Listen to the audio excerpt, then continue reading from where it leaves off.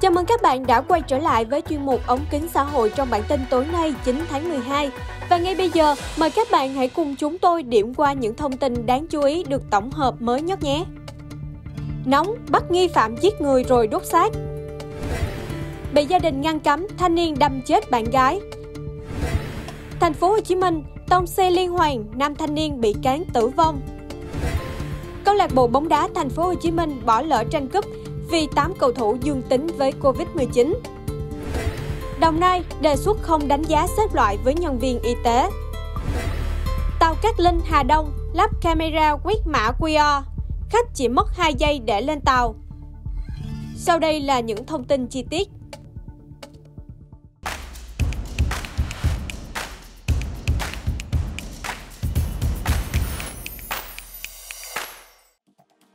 Nóng, bắt nghi phạm giết người rồi đốt xác. Sáng ngày 9 tháng 12, Phòng Cảnh sát Hình sự Công an tỉnh Bà Rịa Vũng Tàu bắt giữ đối tượng TTH, 32 tuổi, trú xã Kim Long, huyện Châu Đức để điều tra các hành vi giết người, cố ý gây thương tích và hủy hoại tài sản. Nạn nhân vụ án là chị O, 17 tuổi, trú tại huyện Châu Đức. Khuyên ngày 7 tháng 12 nhận được tin báo xảy ra vụ án mạng tại địa bàn xã Kim Long, Công an huyện Châu Đức phối hợp với Phòng Cảnh sát Hình sự và các đơn vị chức năng khẩn trương vào cuộc điều tra truy bắt thủ phạm. Từ thông tin thu thập được, cơ quan công an xác định hung thủ gây án chính là TTH. Được sự vận động của cơ quan công an, rạng sáng ngày 9 tháng 12, H đã ra cơ quan công an đầu thú và khai nhận hành vi phạm tội. Theo thông tin ban đầu, Trước đây, gia đình của H và gia đình chị O sống cạnh nhau và từng xảy ra mâu thuẫn do tranh chấp đất. Cuối năm 2020, H đã chém chị M, 40 tuổi, chị họ của O, thương tích 7%. Trong vụ án này, H bị Tòa án Nhân dân tỉnh xử phúc thẩm ngày 19 tháng 10 năm 2021, tuyên phạt 9 tháng tù. Trong thời gian chờ thi hành án, đối tượng này tiếp tục gây án. Khoảng 22 giờ khuya ngày 7 tháng 12, chị O cùng chị M, anh B 32 tuổi và một bé gái 14 tuổi đến gọi H ra nói chuyện. Tại đây, giữa nhóm của chị M và H xảy ra mâu thuẫn. H vào nhà lấy hai con dao đuổi đánh B, nhưng B chạy thoát. Đối tượng này quay lại chém nhiều nhát vào người chị M. Chị O đến can ngăn, cũng bị H đâm nhiều nhát vào người. Khi B đến giải cứu chị M, H chạy vào nhà. Chị M được B đưa vào bệnh viện cấp cứu, sau đó H đổ xăng đốt xe máy của chị O và kéo cô gái này bỏ vào ngọn lửa đang cháy. Một người thân của chị M chạy xe máy đến hiện trường, thấy chị O nằm cạnh chiếc xe đang cháy, đã bỏ xe máy lại hiện trường rồi chạy về nhà, báo cho người thân. Lúc này, Hắc xách một xô nước ra dập lửa và lấy chiếc xe máy này chở chị O đến một căn nhà không có người ở cách hiện trường gần 200 mét. Hãy đặt chị O ở đây rồi đưa chiếc xe máy đến, vứt bỏ ở một địa điểm khác cách nhà này khoảng 1 km.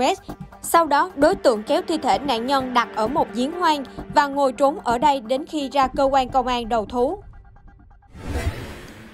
Bị gia đình ngăn cấm, thanh niên đâm chết bạn gái. Ngày 9 tháng 12, Cơ quan Cảnh sát điều tra Công an tỉnh Tiền Giang đang điều tra vụ thanh niên đâm chết bạn gái rồi tự tử. Theo thông tin ban đầu, NHN, 21 tuổi ở xã Long Trung, huyện Cai Lậy, tỉnh Tiền Giang và HNTG, 18 tuổi, có quan hệ tình cảm. Tuy nhiên, gia đình phát hiện N và G có mối quan hệ thân tộc nên ngăn cản khoảng một năm nay. Khoảng 9 giờ 40 phút ngày 8 tháng 12, G theo chị dâu đến tiệm thuốc tây ở xã Long Trung thì gặp N.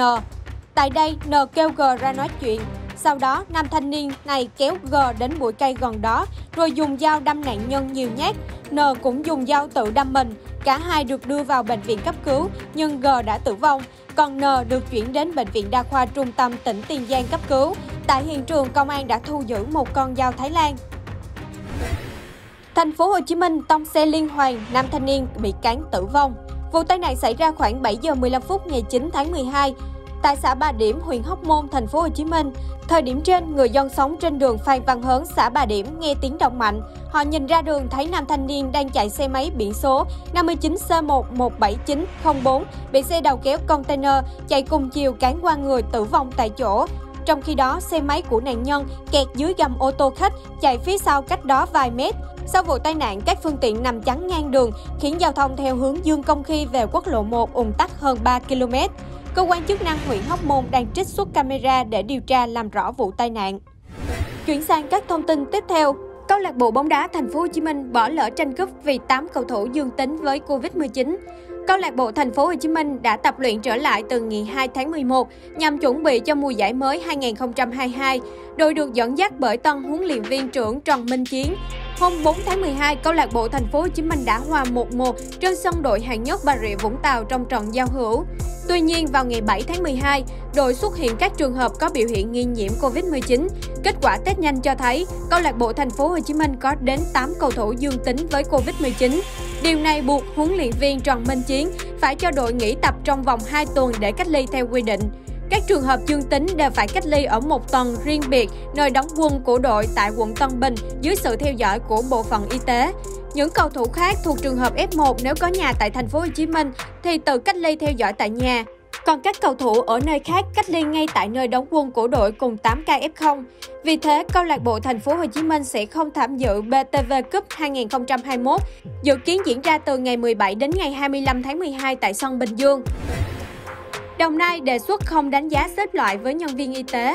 Sáng ngày 9 tháng 12, Giám đốc Sở Y tế Đồng Nai Phan Huy Anh Vũ cho biết, Sở đang chờ Ủy ban Nhân dân tỉnh cho ý kiến chỉ đạo về việc đánh giá, xếp loại chất lượng công chức, viên chức hoàn thành xuất sắc nhiệm vụ đối với đội ngũ cán bộ, nhân viên y tế trên địa bàn trong năm 2021. Trong văn bản gửi Ủy ban Nhân dân tỉnh Đồng Nai, Sở Y tế đề xuất không áp dụng tỷ lệ đánh giá xếp loại chất lượng công chức, viên chức hoàn thành xuất sắc nhiệm vụ đối với đội ngũ cán bộ y tế trên địa bàn trong năm 2021 và trong những năm tiếp theo. Văn bản nêu rõ, thời gian qua, đội ngũ công chức, viên chức, nhân viên ngành y tế vừa thực hiện nhiệm vụ thường xuyên, vừa thực hiện nhiệm vụ chống dịch Covid-19. Mọi người không ngại gian khổ, khó khăn làm việc trong môi trường nguy cơ lây nhiễm cao, ảnh hưởng đến sức khỏe, tính mạng để ghi nhận và công nhận những cống hiến đóng góp của đội ngũ cán bộ ngành y tế trên địa bàn. Đồng thời động viên giữ chân đội ngũ này yên tâm công tác, Sở Y tế Đồng Nai đề xuất không áp dụng tỷ lệ 20% hoàn thành xuất sắc nhiệm vụ đối với cán bộ lãnh đạo, quản lý và nhân viên ngành y tế. Tàu Cát Linh Hà Đông lắp camera, quét mã QR, khách chỉ mất 2 giây để lên tàu. Sáng ngày 9 tháng 12, tại nhà ga Cát Linh, đội cảnh sát giao thông đường sắt, phòng cảnh sát giao thông công an thành phố Hà Nội và các đơn vị nghiệp vụ cùng ban quản lý nhà ga đã tiến hành khảo sát để lắp đặt quét mã QR căn cước công dân gắn chip nhằm phục vụ nhu cầu đi lại của hành khách. Có hai máy quét mã QR căn cước công dân gắn chip được lắp đặt tại nhà ga Cát Linh. Dự kiến trong thời gian tới sẽ lắp đặt tại 11 nhà ga còn lại trên toàn tuyến. Sau quá trình khảo sát, lực lượng chức năng tiến hành lắp máy quét mã QR, căn cước công dân gắn chip tại lối dẫn vào thang cuốn, thang bộ của khu A và khu B ga Cát Linh. Ngoài ra, việc quét mã trên mã vạch ở căn cước công dân gắn chip, người dân có thể quét mã QR trên ứng dụng sổ sức khỏe điện tử. Thông tin vừa rồi cũng đã khép lại bản tin hôm nay. Chúng tôi sẽ tiếp tục cập nhật những thông tin y tế, xã hội mới nhất trong các bản tin tiếp theo. Cảm ơn mọi người đã theo dõi. Xin chào và hẹn gặp lại.